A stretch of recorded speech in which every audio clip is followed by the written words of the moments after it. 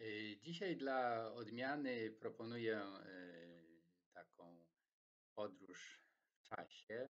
Spróbujmy wsiąść y, w wehikuł czasu i przenieść się y, 2000 lat w czasie do czasów Jezusa z Nazaretu, który żył na przełomie naszych er. Nieprzypadkowo y, liczymy naszą erę właśnie od y, czasów y, Jezusa ze względu na wyjątkową historyczną wagę i znaczenie jego nauczania, a zwłaszcza późniejszego rozwoju religii, którą on zapoczątkował. Oczywiście to jest problem bardzo złożony i nie będę wchodził początki chrześcijaństwa, jego związki z religią Jezusa. Są to sprawy dobrze już przeanalizowane, ale w dzisiejszym naszym krótkim spotkaniu chcę zastanowić się bardziej nad Palestyną czasów Jezusa niż nad tym, co można przeczytać w Ewangeliach.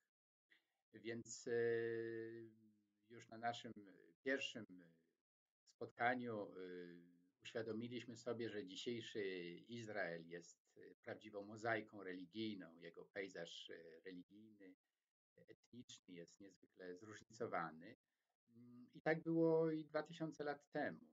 Być może jeszcze bardziej był on zróżnicowany niż dzisiaj. Wtedy ten skrawek Bliskiego Wschodu nazywał się Palestyną i był częścią wielkiego, potężnego imperium rzymskiego i był przez y, Rzymian y, po prostu zdominowany, chociaż y, można powiedzieć cieszył się jakąś małą autonomią.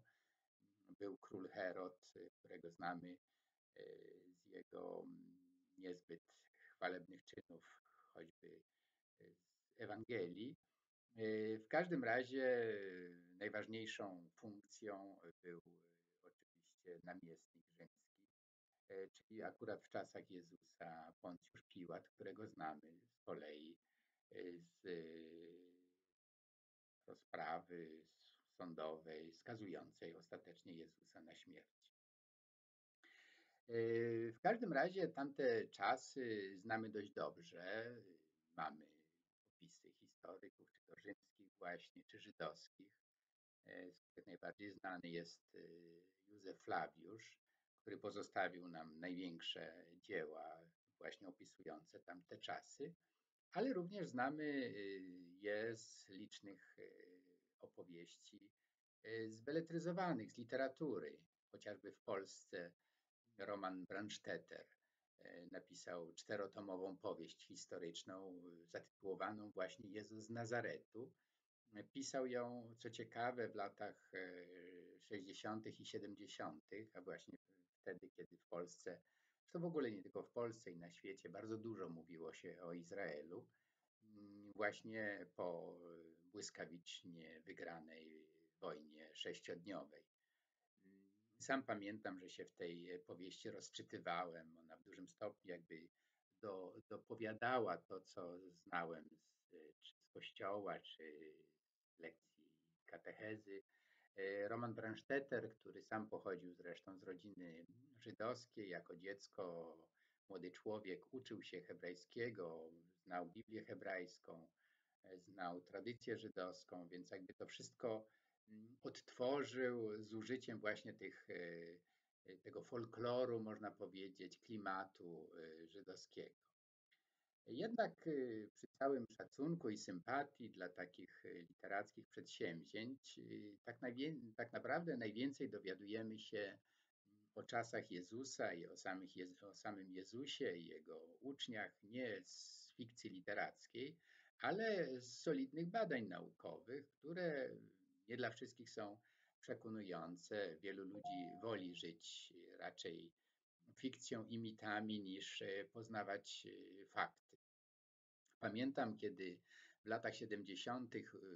ubiegłego wieku, protestancki egzegeta Gerd Tyson, publikował swoje artykuły poświęcone właśnie czasom Jezusa i przy pisaniu tych artykułów stosował bardzo rygorystyczne metody socjologiczne, to musiał się usprawiedliwiać, że nie jest e, ani marksistą, ani radykałem, tylko po prostu stosuje te metody naukowe, żeby lepiej rozumieć e, czasy, w jakich żył Jezus.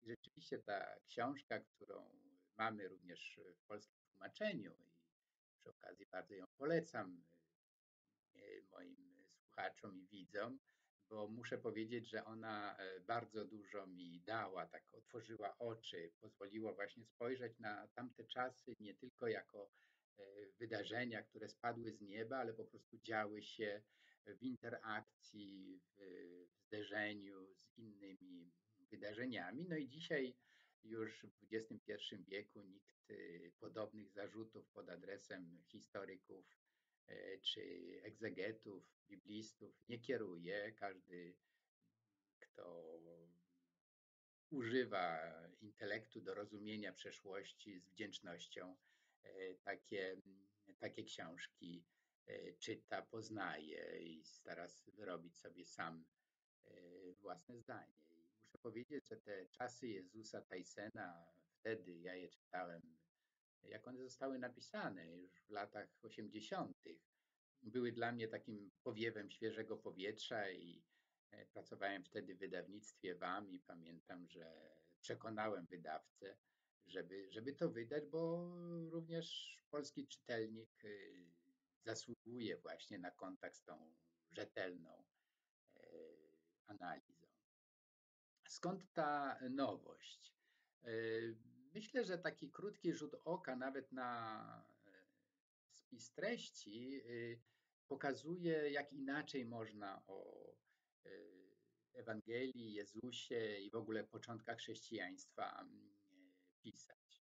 Y, bo na przykład jak spojrzymy na spis treści, co tam znajdujemy? Zadania i metody socjologii ruchu Jezusa, analiza ról, typowe zachowania społeczne w czasach Jezusa, analiza czynników, oddziaływania społeczeństwa na ruch Jezusa, czy wreszcie ostatni rozdział, analiza funkcji, oddziaływanie ruchu Jezusa na społeczeństwo.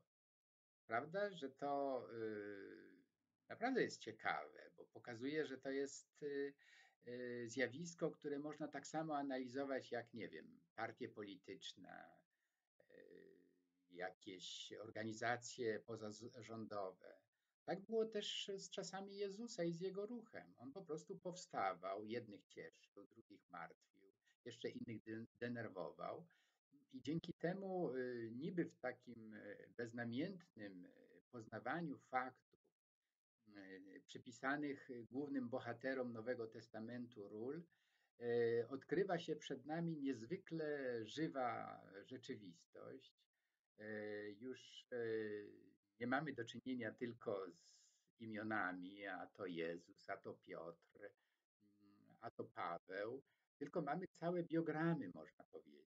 I to jest Y, bardzo wzbogacające, bardzo pouczające. Także jeśli jakiś pożytek właśnie z takich wypraw do Izraela płynie, to między innymi taki, żeby uświadomić sobie, że początki chrześcijaństwa są właśnie z tamtym obszarem mocno związane i o wiele więcej się dowiadujemy o chrześcijaństwie e, właśnie e, oglądając te czy Jerozolimę, czy właśnie Nazaret, czy Betlejem, czy chodząc po pustyni, czy po Galilei, e, niż idąc na przykład do różnych miejsc pielgrzymkowych współczesnych, jak Częstochowa, czy Fatima, czy Lourdes, bo to są znacznie późniejsze i tak naprawdę z Jezusem niewiele mające wspólnego miejsca. I może zachęcając do lektury, pozwolę sobie przywołać początek e, książki Gerda Tysena Czasy Jezusa. Chrześcijaństwo pierwotne zaczęło się jako wewnątrz żydowski ruch odnowy wywołany przez Jezusa. Przejście do helenistycznego prachrześcijaństwa i do chrześcijaństwa judaistycznego jest płynne. jako mało precyzyjne oddzielenie służą tu dane geograficzne i chronologiczne. Helenistyczne prachrześcijaństwo rozszerzało się przede wszystkim poza Palestyną, podczas gdy ruch Jezusa był zjawiskiem palestyńskim, promieniującym na sąsiednie tereny syryjskie. A więc już tutaj widzimy na samym początku, że chrześcijaństwo mia, miało jakby dwie twarze. Z jednej strony yy, złączyło się z potężną, wpływową ówczesną kulturą helenistyczną, stąd na przykład Nowy Testament został napisany nie po hebrajsku, nie po syryjsku, nie po aramejsku, ale właśnie po grecku, bo najwięcej czytelników y, potrafiło ten język właśnie czytać. No a lokalny judaizm rozwijał się również tam w ścisłym dialogu, a może i sporze z lokalną społecznością żydowską. I o tym sobie porozmawiamy następnym razem.